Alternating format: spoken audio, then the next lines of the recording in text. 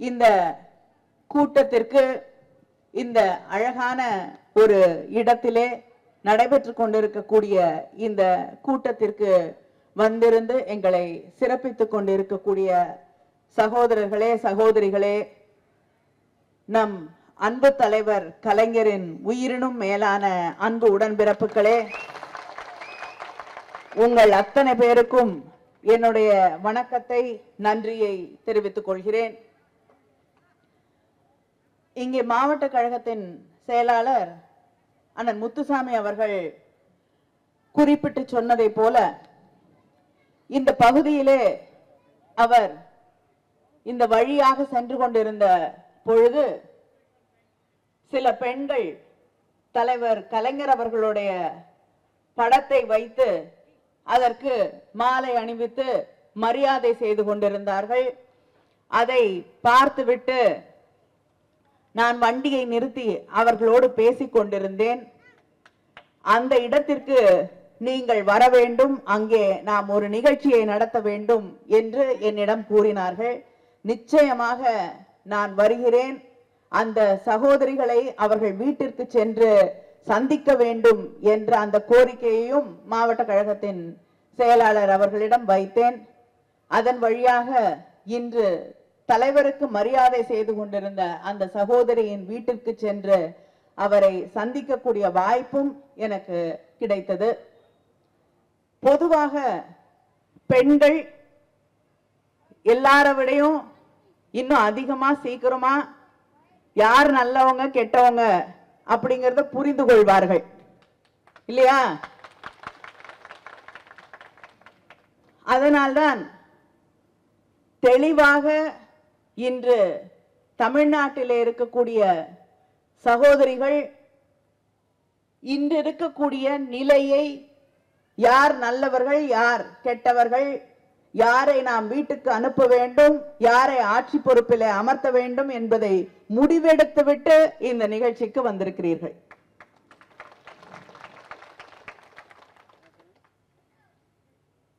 ஏனென்றால் ஒருவேளை நீங்கள் அதிமுகவிற்கு வாக்களித்திருந்தால் கூட அது இன்று இருக்கக்கூடிய முதலமைச்சர் பழனிசாமிக்காகவோ அல்லது இதற்கு முன்னால் இருந்த பன்னீர்செல்வம் அவர்களுக்காகவோ நீங்கள் போட்ட ஓட்டு இல்லை. அம்மையார் ஜெயலலிதா அவர்கள் ஆட்சி பொறுப்பிற்கு வருவார் என்று சில பேர் நம்பி ஓட்டு போட்டிருக்க முடியும். ஆனால் இன்று அவர் நம்மோடு இல்லாத அந்த சூழலிலே அவருக்கு பிறகு இரண்டு பேர் அந்த பதவிக்கு வந்து மக்களுக்கு எதுவுமே செய்ய தயாராக அவர்கள் இல்லை என்பதுதான் உண்மை என்பதை நீங்கள் புரிந்து கொண்டிருக்கிறீர்கள். எந்த கோரிக்கையை கொண்டு போய் கொடுத்தாலும் கேட்கறதுக்கு கூட ஆள் இல்லை. காதுல ஓஏபி கிடையாது. லட்சக்கணக்கான தாய்மார்களுக்கு முதியவர்களுக்கு தலைவர் கலைஞருடைய ஆட்சி காலத்திலே முதியோர் உதவி தொகை அளிக்கப்பட்டது. இன்னைக்கு எல்லா இடத்துலயும் யாருக்காவது வயசு குறையுதா என்ன? அப்படி குறைஞ்சாதான் வந்து வயசு பத்தலைன்னு சொல்லி நிறுத்திட முடியும். இல்ல. ஆனா லட்சக்கணக்கானவர்களுக்கு கொண்டு கொடுத்துட்டு இருந்த அந்த முதியோர் உதவி பணம் இன்னைக்கு நிறுத்தப்பட்டிருக்கிறது. எங்க போனாலும் எந்த பகுதிக்கு போனாலும் உதவித்தொகை வரவில்லை. கலெக்டர் கிட்ட மனு கொடுத்துட்டோம். வருஷக்கணக்கா மனு கொடுத்துட்டு இருக்கோம் ஆனா எதுவுமே நடக்கிறது இல்ல அது போல மாற்றுத்திறனாளிகளுக்கான உதவித்தொகை அது வந்து சேர்றது நெசவாளர்களுக்கு நாங்க அவங்களுக்கு நஷ்ட ஈடு தருகிறோம் என்று அறிவிக்கிறார்கள். ஆனா யாருக்குமே வந்து சேர்றதில்ல. அந்த பணம் எங்க போகுதுன்னு யாருக்கும் தெரியறது கிடையாது. ரேஷன் கடையில பொருட்கள் வழங்குகிறோம் வழங்குகிறோம்னு சொல்றாங்க. ஆனா எத்தனை முறை போனாலும் இன்னொரு நாள் வாங்க இன்னொரு நாள் வாங்கன்னு இந்த பெண்களை நடையாக நடக்க வைக்கக்கூடிய ஒரு நிலைதான் இருக்கே தவிர அங்க எதுவும் சரியா கிடைக்கிறதே கிடையாது. அதுக்கு மேல கேட்டா சண்டைக்கு வருகிறார்கள். அவமானப்படுத்துகிறார்கள் மரியாதை இல்லாமல் பேசுகிறார்கள். இதுதான் நாம் தினமும் சந்திக்கக்கூடிய ஒரு சூழல். அடிப்படை வாழ்வாதாரமே பாதிக்கப்பட்டிருக்கக்கூடிய ஒரு சூழல். சாலை வசதிகள் கிடையாது. தமிழ்நாட்டில் எந்த பகுதிக்கு போனாலும் ரோடு போட்டு ஏன்னா முதலமைச்சருக்கு பெரிய பெரிய ரோடு. எட்டு வழி சாலை பத்து வழி சாலை. விட்டா பதினஞ்சு இருபது கூட போடுவாரு. ஏன்னா அதில் அவருக்கு வருமானம். அவருடைய வேண்டியவர்களுக்கெல்லாம் வரவு இருக்கிறது. அவங்களுக்கு தான் கான்ட்ராக்ட் கொடுக்குறாங்க. அவங்க கட்சிக்காரர்களுக்கு அவருடைய சொந்தக்காரர்களுக்கு. ஆனால் கிராமங்களிலே சின்ன சின்ன ஊர்களிலே எந்த சாலை வசதியும் கிடையாது.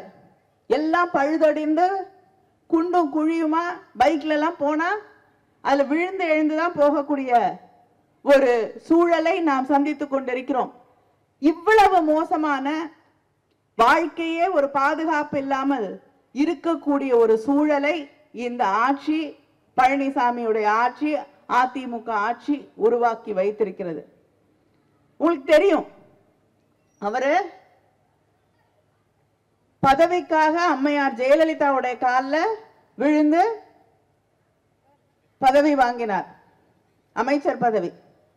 அதுக்கப்புறம் சசிகலா அவர்களுடைய காலில் விழுந்து அவர் எப்படி காலில் விழுந்தாருன்னு நீங்களாம் வீடியோ பார்த்துருப்பீங்க. நான் சொல்ல வேண்டியதில்லை.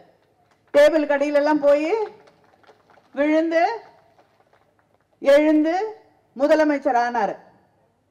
இன்று மத்தியிலே இருக்கக்கூடிய மோடி அவர்களுடைய காலிலும் அமித்ஷா அவர்களுடைய காலிலும் விழுந்து இன்று பதவியை தக்க வைத்துக் கொண்டிருக்கிறார்.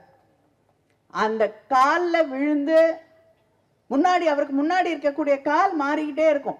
யார் காலில் வேணாலும் விழுவாரு அவர் மட்டும் பதவியில் இருக்கணும் அதுக்காக எந்த சுயமரியாதையும் விட்டு கொடுக்கறதுக்கு எந்த உரிமையும் விட்டு கொடுக்கறதுக்கு அவர் தயாராக இருக்கிறார்.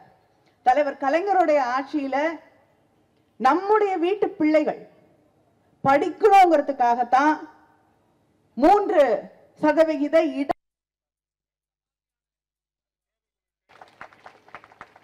எந்த சமூகத்தை சார்ந்தவர்கள் படிக்க கூடாது என்று உயர் ஜாதியினர் நினைத்தார்களோ? யாரெல்லாம் ஒடுக்கி வச்சிருந்தாங்களோ? யாரெல்லாம் இந்த சமூகத்துல தலை நிமிர்ந்து நடக்க கூடாதுன்னு சொன்னாங்களோ? எந்த பெண்களுக்கு எந்த உரிமையும் கிடையாதுன்னு சொல்லி வச்சிருந்தாங்களோ? அந்த பெண்கள் அந்த ஒடுக்கப்பட்டவர்கள் அந்த ஒதுக்கப்பட்டவர்கள் படிக்கணுங்கிறதுக்காகத்தான் இடஒதுக்கீடு கொண்டு வரப்பட்டது. அதுவும் குறிப்பா மூன்று சதவிகித ஒ- இடஒதுக்கீட்டை அருந்ததிய சமூகத்தினருக்கு தலைவர் கலைஞர் அவர்கள் அறிவித்தார்கள். அதற்கு பிறகு இன்னைக்கு எத்தனையோ மருத்துவர்கள் தனியார் மருத்துவ கல்லூரிகள்ல அரசு மருத்துவ கல்லூரிகள்ல எத்தனையோ என்ஜினியர்ஸ் அரசாங்க வேலைகளிலே இருக்கக்கூடியவர்கள் என்று பல பேர் இன்னைக்கு அரசு பதவிகளிலே உயர் பதவிகளிலே மருத்துவர்களாக பணியாற்றக்கூடிய வாய்ப்பு என்ஜினியர்ஸா பணியாற்றக்கூடிய பொறியாளர்களாக ஒரு நல்ல நிறுவனத்துல பணியாற்றக்கூடிய வாய்ப்பை உருவாக்கி தந்தது அந்த இடஒதுக்கீடு. தலைவர் கலைஞர் கொடுத்த அந்த இடஒதுக்கீடு. ஆனால் இன்று ஒவ்வொரு மாவட்டத்திலையும் ஏன்னா எல்லாரும் போய் தனியார் கல்லூரியில் படிக்க முடியாது. அங்க கட்டணம் அதிகம் ஃபீஸ் அதிகம். அதனால அரசாங்க மருத்துவ கல்லூரிகள்ல ஒவ்வொரு மாவட்டத்திலையும் உருவாக்கி நம்ம பிள்ளைங்க வசதி இல்லாத வாய்ப்பில்லாத பிள்ளைங்க படிக்கணுங்கிறதுக்காக அந்த அரசாங்க மருத்துவ கல்லூரிகள்ல கவர்மெண்ட் மருத்துவ கல்லூரியை கொண்டு வந்தார் தலைவர் கலைஞர் அவர்கள். ஆனால் இன்று மத்திய அரசாங்கம் நுழைவுத் தேர்வு அப்படிங்கிற பேர்ல நீட் பரீட்சைகளை கொண்டு வந்து இன்னைக்கு நம்ம பிள்ளைங்க படிக்கவே முடியாத யாருக்காக அந்த மருத்துவ கல்லூரிய தலைவர் கலைஞர் கட்டினாங்களோ அந்த கல்லூரியில போய் நம்ம பிள்ளைங்க நம்ம வரி பணத்துல படிச்ச கட்டின கல்லூரியில படிக்க முடியாத ஒரு சூழலை உருவாக்கி வைத்திருக்கிறார்கள் மத்தியில இருக்கக்கூடியவர்கள். ஆனா இங்க இருக்கக்கூடிய அதிமுக ஆட்சி அதை எதிர்த்து கேள்வி கேட்காது. அதை எதிர்த்து போராடாது. அவர்களுக்கு எதையும் செய்ய மாட்டார்கள். தன்னுடைய உரிமைக்காக தமிழ்நாட்டுடைய உரிமைக்காக இந்த மக்களுடைய உரிமைக்காக போராட மாட்டார்கள். ஏனென்றால் அவங்களுக்கு அவங்க பதவி மட்டும்தான் முக்கியம். இப்படி ஒன்றொன்றாக நம்முடைய மொழி பண்பாடு அடையாளம் இடஒதுக்கீடு உரிமைகள் விவசாயிகளோட உரிமைகள் என்று எல்லாத்தையும் மத்தியில இருக்கக்கூடிய அரசாங்கத்துக்கு ஒவ்வொன்றா விட்டு கொடுத்துக்கிட்டே இருக்கக்கூடிய ஒரு கேவலமான ஆட்சி இங்கே நடைபெற்று கொண்டிருக்கக்கூடிய ஆட்சி என்பதை நாம் அத்தனை பேரும் அறிந்திருக்கிறோம். இந்த ஆட்சி ஒரு முடிவுக்கு கொண்டு வரப்பட வேண்டும். நான் கேட்கிறேன் இத்தனை பெண்கள் வந்திருக்கீங்க. உங்களுக்கு சுய உதவி குழுக்களை தலைவர் கலைஞர் அவர்கள் உருவாக்குனாங்க. இன்னைக்கு அந்த சுய உதவி குழு எல்லாம் செயல்படுதா? நான் சில சகோதரிகளை பார்த்தேன். ஒன்றும் கிடையாது எங்களுக்கு. சுய உதவி குழுவில் இருக்கோம். ஆனா நூறு நாள் வேலைக்கு போறோம். அங்கேயும் சரியா சம்பளம் கொடுக்கறது இல்ல சற்று பத்து நிமிடத்திற்கு முன்னால் அந்த சகோதரிகளை சந்தித்து நீங்க வருவதற்கு முன்னால். சுய உதவி குழுவும் செயல்படுறதில்ல. சம்பளமும் பார்க்கக்கூடிய வேலைக்கு அதுவும் சரியா வர்றதில்லை. வேலைக்கே பாதுகாப்பில்லை. வாழ்க்கைக்கு பாதுகாப்பில்லை. இல்லை எப்படி பாதுகாப்பு இருக்க முடியும்? இங்கே முதலமைச்சராக இருந்த ஒரு அம்மையார் அம்மையார் ஜெயலலிதா அவர்கள் மரணம் அடைகிறார்கள். அதுல பல சந்தேகங்களா இருக்கிறதா எல்லா தரப்பினரும் சொல்றாங்க. திடீர்னு நல்லா இருக்காங்க சாப்பிட்டாங்க வச்சாங்கன்னு சொன்னாங்க. ஆனா திடீர்னு இல்லைன்னு ஒரு நிலை. என்ன ஆச்சு? உண்மை. தமிழ்நாட்டுடைய முதலமைச்சராக இருந்த ஒரு அம்மையார். உண்மை என்ன தெரியணும்னு எல்லாரும் கேள்விகள் கேட்க ஆரம்பித்த உடனே முதலமைச்சர் அதுக்கு ஒரு விசாரணை கமிஷன் போடுறேன்னு சொன்னார். அந்த விசாரணை கமிஷன் அதுக்கு ஆயுள் ஒவ்வொரு தடவையும் நீட்டிச்சு இப்போ ஒன்பது தடவை நீட்டிக்கப்பட்டிருக்கிறதே தவிர அம்மையார் ஜெயலலிதாவுடைய ஆயுளுக்கு என்ன ஆனது என்ப என்ற உண்மை இதுவரைக்கும் தெரியல. இவருக்கு கூட இருக்கக்கூடிய ஓபிஎஸ் துணை முதலமைச்சர் தர்ம யுத்தமே நடத்தினார். உண்மை தெரியணும்னு. ஆனா விசாரணை கமிஷன் அழைக்கும் போதெல்லாம் வாய்தா வாங்கிட்டு இருக்காரே தவிர அவர் போறது கிடையாது. ஏன்னா பதவி அவ்வளவு முக்கியம். ஒரு முதலமைச்சராக இருந்த அம்மையார் ஜெயலலிதாவுக்கே பாதுகாப்பில்லை. அவங்களுக்கு என்ன நடந்ததுன்னு தெரியல. உண்மை இதுவரைக்கும் யாருக்குமே தெரியல. இங்க இருக்கக்கூடிய சகோதரிகளுக்கு அந்த உண்மை தெரியணும். இல்லையா?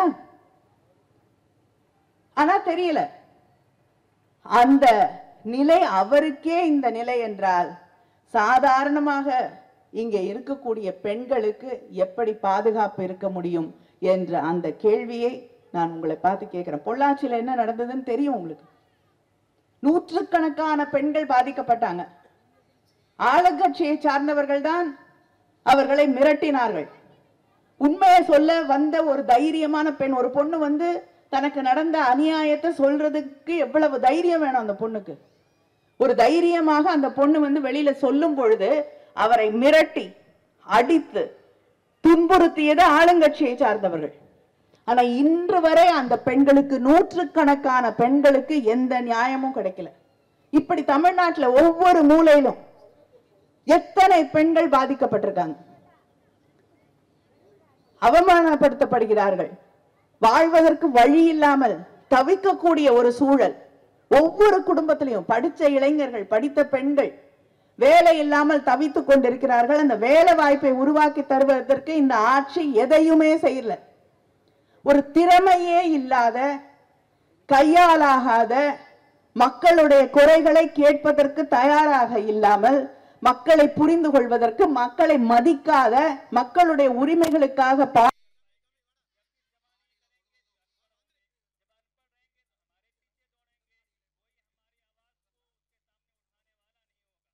நீங்கள் தயாராகி விட்டீர்கள் என்பது எனக்கு தெளிவாக தெரிகிறது. உங்களோடு நின்று உங்களுக்காக உழைக்கக்கூடிய உங்களுக்காக போராடக்கூடிய தமிழ்நாட்டின் சுயமரியாதையை பாதுகாக்கக்கூடிய ஒரு ஆட்சி தலைவர் கலைஞருடைய ஆட்சி மறுபடியும் தமிழ்நாட்டிலே உருவாக்கப்பட வேண்டும். அந்த ஆட்சியை தளபதி அவர்கள் மட்டும்தான் உருவாக்க முடியும் என்பதை உங்களிடம் தெரிவிக்கிறேன். நிச்சயமாக இன்று பல பேர் பல கோரிக்கைகளோடு இங்கு காத்திருக்கிறீர்கள். எங்கள் மீது இருக்கக்கூடிய நம்பிக்கையிலே எதிர்க்கட்சியாக இருக்கக்கூடிய எங்களிடம் கோரிக்கைகளை தருவதற்கு காத்து கொண்டிருக்கிறீர்கள். உங்களுடைய நம்பிக்கைக்கு மிகப்பெரிய நன்றியை தெரிவித்துக் கொள்கிறேன். நிச்சயமாக ஐந்து மாதங்கள் காத்திருங்கள் பொறுத்திருங்கள்.